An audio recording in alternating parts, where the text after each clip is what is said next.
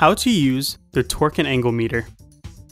Turn on the meter by either pushing the U or M buttons. Continuously press the M key to scroll through modes. Peak, track, or angle. For track and peak, pushing the U key displays the desired units of measure foot pound, inch pound, or newton meters. For angle, pushing the U key will clear the display. After you've chosen the correct mode and unit, push the up or down key to view the target torque or angle value.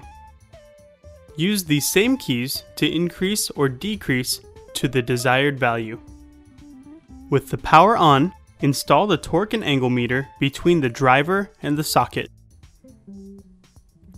Apply torque load to the fastener in either clockwise or counterclockwise directions. During loading, the torque and angle meter will display applied torque in real time. The yellow LEDs and the buzzer will begin to pulse at 80% of target torque, increasing as target torque value is approached.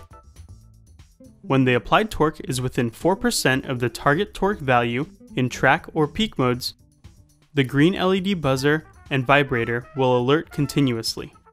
Stop applying torque as the installation is complete.